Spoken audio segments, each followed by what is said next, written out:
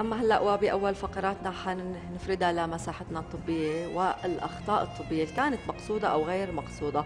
هنن أكيد بينتجوا عن ثلاث نقاط إن كان الطبيب يلي أحيانا بيخطئ بتشخيص المرض وإن كان المريض اللي أحيانا كثير مرضى فراح بي بياخذوا الأدوية بغير موعد بيشيلوا نوع وبيبدلوه بنوع ثاني استخدامات خاطئة أو عدم يمكن ما بيركزوا أو بينتبهوا كثير لترشيدات الطبيب إنه كيف نحن لازم ناخذ دواء الأوقات الجرعة المطلوبة هون الكارثة يمكن. أكيد حتى الصيدلي أحيانا يخطئ بوصف بصرف الوصفة وممكن بطريقة الاستخدام فهدول بشكل مثلث ممكن ينتج عنهم هذا الخطأ الطبي اللي يسبب أشياء سلبية للمريض. اليوم رح نحكي عن هذا الموضوع بشكل أوسع. مع ضيفنا لليوم الصيدلي باسل حسن النائب العلمي في كلية الصيدلة.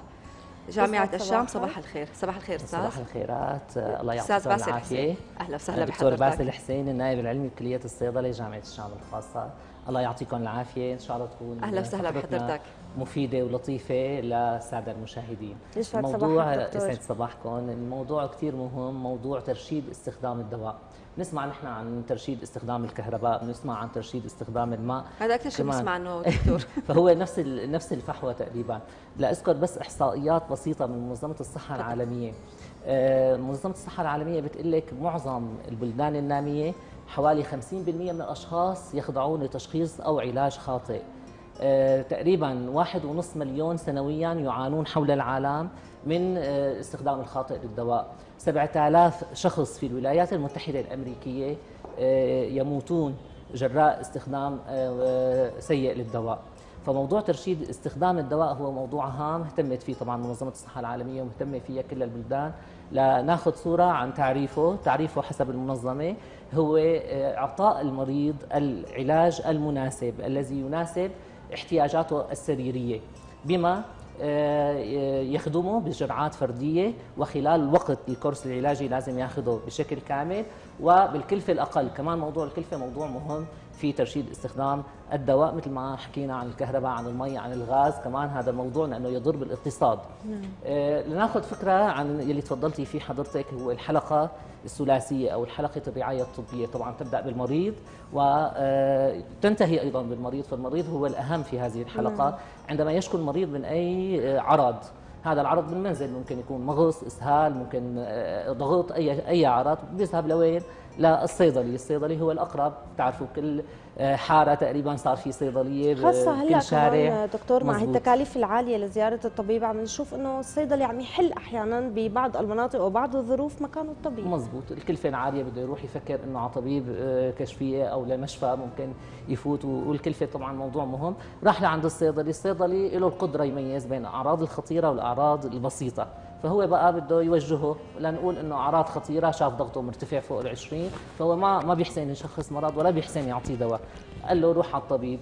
طبيب آه، بده يوصف له الدواء المناسب حسب الحالة. طبعا هو بيستعين بالصور الشعاعيه بالتحاليل الدقيقة. أحيانا ياخذ تشخيص دقيق. أعطاه التشخيص أعطاه الوصفة النظامية. راحت الوصفة النظامية لعند الصيدلي من جديد صرف له إياها. رح نقول كل شيء سليم لهلأ. رجع المريض على البيت واستخدمها وحسب الكورس العلاجي حسب إرشادات الاستعمال يلي قالها الصيدلي. فهون ما في هون حالة مثالية. ولكن الواقع حسب بقى منظمة الصحة العالمية غير هيك.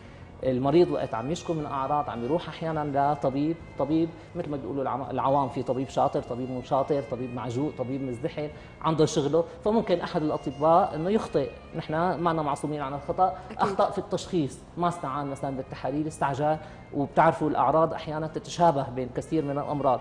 فأعطاه وصفة هذه الوصفة لا تتناسب مع حالته.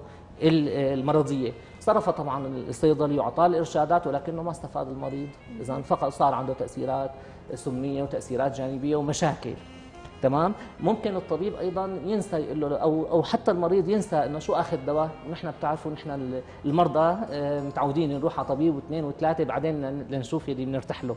راحة نفسية كمان إلى إحساس هي كمان نفسي يعني مريح بالعلاج. فممكن أخذ كيس دواء نسي دواء من هالأدوية. الطبيب ما عرف شو شو عنده كل هالأدوية أو قال له هالأدوية من عدد دواء ضل بالبيت. وضل هو عم يستخدمه صار في شيء اسمه تداخلات دوائية ومشاكل كمان. هي نتجت عن إنه خطأ بالطبيب أو بالمريض. طيب رجع هلأ المريض نعتبر ما صار هذا الخطأ. والوصفة النظامية رجع لعند الصيدلي. الصيدلي قرأ الوصفة. بتعرفوا خط الأطباء مفهوم ولا لا؟ لا أكيد. أنا ابني وقت بيكتب بخط معه حلو بقول له يلا بدك تصير دكتور. دكتور.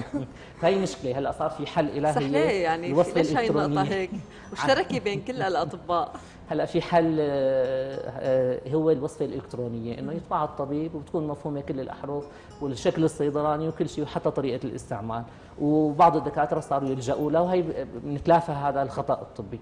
هلا الصيدلي آه، مو بس هذا الشيء اللي بيخليه يخطئ. كمان الصيدلي في تشابه بالاسماء في دواء اسمه مثلا بروسبان في دواء اسمه باسبيران في أدوية متشابهة كونترا اولها آه، يعني كريستوميد مثلا استعمالاتها. مختلفة إيه واستعمالاتها مختلفة تماما هي أسماء تجارية بتتشابه بالأسماء ولكن تركيبها مختلف. فهون كمان يقع أحيانا الصيدلي بالخطأ. هلأ الخطأ أحيانا بالعيار عيار الدواء. في أدوية عندك الخمسه العشره العشرين الاربعين الثمانين ممكن منها عيارات فممكن يعطي عيار خاطئ ممكن يعطي شكل صيدلاني غير. بتعرفوا الأشكال الصيدلانية هي الموجودة على رف الصيدلية هذا المستحضر الأنيق الجميل اللي موجود على على الرف. هو أشكال مختلفة ممكن يكون آه، أقراص ممكن يكون كبسولات ممكن يكون شرابات ممكن يكون حقن مراهم. فهي كمان بتختلف هي ووقت بده يصرفها بشكل مختلف كمان بتأثر. الأبر آه، تأثيرها مثلا مختلف تأثيرها سمي دغري بيروح على الدم. مو مثل الحب الحب تأثيرها مديد بيكون وبطيء مو مباشر. فكمان هذا خطأ ممكن يتعرض له الصيدلاني أثناء يعني صرفه للدواء، طيب رح نقول الصيدلي كمان لا ما أخطأ ومشي حال الوصفة وصرفها للمريض، المريض راح على المنزل المريض تحسن أول ثلاث أربع أيام هو ترك كورس الدواء. أول شغلة فبيقول الالتهاب. تحسنت بقى ما بدي الدواء ممكن آه، إنه صار في تأثيرات جانبية للدواء عمل له إسهال عمل له طبعا الصيدلي هو بده يرشده ويقول له ممكن هذا الدواء يعمل لك آه، بس هي مثلاً هدول الجانبية ط- دكتور صح؟ تأثير لكل دواء له تأثيرات جانبية ولكنها عادية يعني. المهم إنه يتنبه لها يعني شاف مثلا في دم آه، هو فكر دم بالبول هو لون بيكون ال- البول صار أحمر نتيجة الدواء نتيجة تفاعلات استقلابه أو آه، للدواء. هي عادية يعني ما أنا مشكلة ولكن خاف المريض. فأنا بدي نبهه. فالمريض إذا ما تنبه لهذا الشيء ممكن يوقف عن استخدام الدواء. راح على شغله ونسي ظرف الحب بال- بالبيت. فما ما رجع إنه يستخدمه. اساءة استخدام المريض للدواء كمان شائعة كثير هلأ اي أي واحد فينا وجعه راسه شو بنقول له؟ خذ حبتين سيتامون حبتين سيتامون حبتين ديكلوفيناك فولتارين فكمان هذا بيعمل تأثيرات سمية حتى لو دواء آمن على المدى شو اللي الطويل. ممكن يعملوا هدول؟ نحن كثير شائع هاي القصة إيه وكثير طبعاً. مستخدمة. أذية على على الكلية على الكبد في شيء اسمه تحمل وتعود كمان ممكن تتحمله. بحكي لكم سيرة بسيطة. كانوا الملوك أيام زمان يخافوا من التسمم. التسمم أكثر شيء كانوا يسمموا بالزرنيخ. والزرنيخ لأنه لونه أبيض وبيروح مع الأكل يحطوا لهم إياه بالأكل. فشو كانوا يعملوا؟ ياخذوا جرعات أطبائهم يعطوهم جرعات صغيرة غير قاتلة من الزرنيخ فصاروا يتعودوا على الزرنيخ. مناعة. اجيتهم بقى مثل المناعة بتقولي لا يعني على نفس النمط فسموهم ملتهمي الزرنيخ إنه أنا باخذ الجرعة القاتلة لشخص عادي ولكن أنا متعود عليها. وهذا الشيء اللي ممكن يحدث وقت بضل أنا آخذ مسكنات. هذا استخدام عشوائي. الأخطر من هيك هو استخدام العشوائي للصادات الحيوية للأنتيبيوتيك. كمان صعوبة بالبلع حرقة بالبلعوم روح خذ حب ال 500 الأحمر والأسود مباشر يعني إنه هذا العلاج. ونحن كمان بنرد كثير بنعطي أذانك على طول لجيراننا لقرايبنا لأهلنا. يعني مو ضروري اللي شيء ناسبهم ناسبنا. معلومات عامة صارت آه، دكتور إيه. هدول القصص يعني تخيلي أو- مثلا إنه هي قاعدة هي وجارتها عم تحكي قالت لها هذا مانع الحمل كثير ناسبني هذا فيك تستخدميه؟ قالت لها اعطيني العلبة وتروح تستخدمه. طيب هذا ضبط هرمونات هذا خاص بكل شخص يعني. فهذا من الأخطاء الشائعة. نحن إذا نعود للمستحضرات الحيوية الصيدلات الحيوية مشكلتها إنه بتعمل مقاومه حتى على الجراثيم. يعني تخيلوا هلأ في جراثيم مقاومة على كل أنواع الصيدلات الحيوية الموجودة وعم تسبب في وفاة الكثيرين حول العالم. هي غير نقص المناعة غير المشاكل اللي بتحصل للشخص. كمان موضوع أخطر منه الموضوع اللي تحدثتي فيه تحت الهواء هو الأدوية النفسية الأدوية المهدئة الأدوية المسكنة المركزية. هي بتعمل حالة من التعود والإدمان وممكن تعمل مشاكل صحية كثير أي حدا مر, مر فينا يعني. نحن الكل ونحن يعني بلد طالع من أزمة إن شاء الله ولخير المستقبل. بس خلال الأزمة تعرض لمشاكل نفسية أخذ دواء نفسي حس بالارتياح فصار ياخذه بدون وصفة. مثلا الطبيب قال له خلال شهر لا هو صار ياخذه يرتاح عليه ما بينام غير على هي الحبة. طبعا هذا خطأ شائع وهذا بيأثر عليه بيتعود عليه وما في حتى بقى يتركه. طيب هون الدكتور ما بيعرف إنه مريضه حيتعود على هذا المنتج طبعاً. أو على هذه الأدوية؟ بس هو بيعطيه خلال كورس قال له قال له شهر وبيعمل له شيء اسمه سحب تدريجي شوي شوي بيسحبه من الجسم. فهيك ما ما بيضره ولكن استخدامه المتكرر لا صار مدمن عليه صار متعود عليه. دكتور كمان بنسمع إنه من الأخطاء الشائعة إنه بعض الأشخاص والأغلب عنده صيدلية منزلية لكن طريقة حفظ الأدوية هون طبعاً. بيكون فيها خطأ كثير كبير. خلينا نعرف شو الطريقة الصح. وفي مقولة إنه حتى بأدوية الالتهاب إنه هي ممنوع تستخدم أكثر من أسبوع في حال فتح فتحت العلبة طبعا. تمام. هذا الشيء شو مدى صحته؟ وقد إيه ممكن تكون يمكن مثل ما بنقول مدة الاستعمال للأدوية؟ هلأ أدوية الالتهاب اللي هي عبارة ال antibiotics هي عبارة عن مسحوق جاف. بنحضره نحن بمي. تمام. بتكون هي المي water for injection بيكون. يعني ما معد لتحضير الأشكال العقيمة. فخلال أسبوعين لازم يستخدم لأنه ممكن يتعرض ل آه، مشاكل بالثبات يعني مو مو ضروري بالجراثيم لا ثباته. وبالتالي ثباته بي- بيأثر على فعاليته. فاذا هذا يستخدم خلال أسبوعين. ما بصير إنه يستخدم لفترة أكثر حتى لو ضل بالبراد. القطورات العينية مثلا آه، يلي هي مو بس معادلة للتوتر للضغط الحلولي للسائل الدمعي لا هي مستحضرات عقيمة. كمان وقت بفتحها أنا وبسكرها ممكن تتخلى جراثيم ممكن تتبخر أو تضيع المادة عم تفوت على الحافظه أماكن كثير حساسة بالجسم يعني عين. فالعين هي العضو حساس كثير بال- بالجسم لهيك هي المستحضرات هي مستحضرات عقيمة. فوقتها آه، لازم كمان نرميها بعد أسبوعين. الموضوع المهم كثير هو ال expiry date.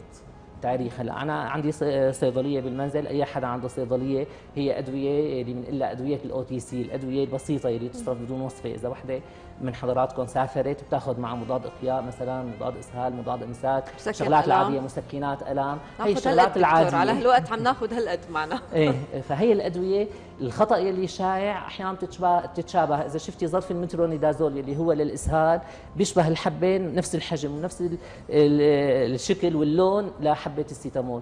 طيب أنا أحيانا عم بفقد عم بفقد الكرتونة يعني أنا أحيانا. ما عم بتضل الكرتونة نفسها لأنه بتاخذ حجم. راشتها اللي موجودة كمان عم يفقدها بالصيدلية. حتى الظرف ما مكتوب ما مكتوب عليه مزبوط الاستخدام. دكتور وهي بكل الصيدليات اللي بتلاقيها فإنه لازم أنا أكتب بقلم إنه ما بيزول آه، يعني مو قلم أزرق مثلا لا قلم فلومستر مثل ما بيعمل الصيدلي اكتب هذا لشو وكيف أنا كمان بستخدمه مثلا بستخدمه حبه ثلاث مرات ممكن حبتين. فهي الصيدليه اللي عندي. هذا موضوع كثير مهم هو الإكسبايري ديت وكمان شروط الحفظ. في أدوية مثل الحقن ممكن أنا أحطها آه، بالبراد لازم. أحطها بالبراد. والأدوية العادية 15 ل 30 هي درجة حرارة الغرفة التحاميل مثلا إذا كان في شوب حتى الصيدلي مضطر يحطها بداخل البراد خصوصي وقت انقطاع التيار وما عنده مكيف. يشغله للحفاظ على درجة الحرارة فهي آه، أهم شيء بقى بالموضوع كله تبع صيدليات المنزل هو آه، حفظ الدواء بعيدا عن متناول الأطفال كل آه، دواء كل مستحضر موجود بالصيدلية بالنشرة بال- بالغلاف الخارجي بالغلاف الداخلي مكتوب احفظ الدواء بعيدا عن متناول الأطفال. بتعرفوا الشرابات؟ الشرابات آه، عشان يحببها وياخذها الطفل فبيعملوها بألوان وبيعملوها. بنكهات. بيحط البردقان الفواكه الفريز التوت. فالطفل وقت بده يشوف الدواء دغري بده يفتحه وي- ويشربه كله. صحيح. فهذا بيعمل له تسمم يعني بأمريكا الولايات المتحدة في 80% من حالات التسمم هي للأطفال. الأطفال يعني هن ما واعيين اللي تحت.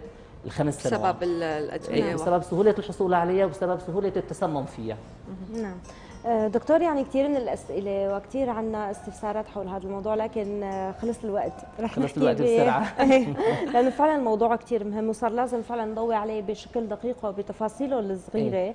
بدنا نشكرك دكتور. حلقات أكيد. حنكمل أكيد أكيد. حلقات ثانية أنا بس بالنهاية شكرا. لكم لأستضافتكم. أنا بأكد على دور الصيدلي بالرعاية الطبية. هو مكون أساسي هو مكون أساسي أكيد. بالحلقة آه، الثلاثية اللي حكيناها طبيب صيدلي ومريض الصيدلي هو والصيدلية هي ليست مكان فقط لبيع طبعاً. الدواء آه، الصيدلي ما هو مجرد باعي لا هو مقدم نصيحة طبية هو مقدم رعاية طبية هو آه، الشخص القريب من المريض لهيك نحن بنسمي الصيدلي أو الصيدلية بصيدلية المجتمع شكرا كثير. لحضورك. وموفقين كل. الصيادله بعملهم أكيد شكرا كثير يعطيكم شكرا لك دكتور. مرة ثانية